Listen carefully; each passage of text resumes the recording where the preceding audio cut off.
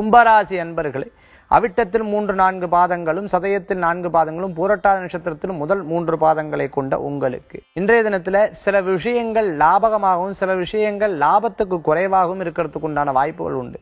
இங்கேருந்து தூரமா போய் ஒருத்தரை சந்திக்கலாம் பார்க்கும்போது அந்த இடத்துல அவர் இல்லாத சுரூபங்களும் இருக்கலாம்.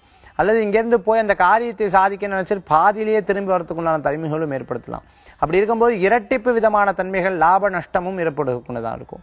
எது எது நடக்கலையோ அதெல்லாம் பெருசா நினைக்க வேண்டாம். ஏன்னா அந்த காரியத்துல வெற்றி இல்லைன்னு தெரியும். எது நடந்திருக்கோ அது உங்களுக்கு சாதகமா இருக்கிறதுக்கு உண்டான வாய்ப்புகள் உண்டுன்னு சொல்லலாம். மேலும் திருமண காரியங்கள் வெற்றிகரமா இருந்துருக்கும் வருங்காலத்தில் வருங்காலத்துல இடம் வீடு பொருள் வாகனம் வாங்கணுங்கிற விஷயத்தை நோக்கி சேமிக்கிறதுக்கு உண்டான வாய்ப்புகளும் கூடி வரும்னு சொல்லலாம். வேலை வாய்ப்பு ரீதியாக இடமாற்றங்கள் மேல் புதிய வேலை வாய்ப்புகள் தேடுதல் புதிய முயற்சிகள் புதிய தொழில்கள் செய்தல் நம்ம கல்யாணத்துக்காக நம்மளே சேர்த்து வைக்கணுங்கிற எண்ணங்களும் அடிக்கடி கும்பராசி நாயர்களுக்கு தோணும்.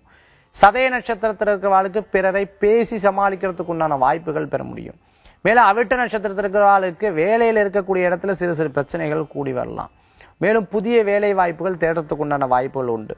உங்களுக்கு அதிர்ஷ்டம் தரக்கூடிய எண் ஆறு நிறம் வெண்மை வழிபாட்டுக்குண்டான தெய்வம் சிதம்பரர் வழிபாடு நடராஜர் வழிபாடு உன்னதமான வழிபாடு.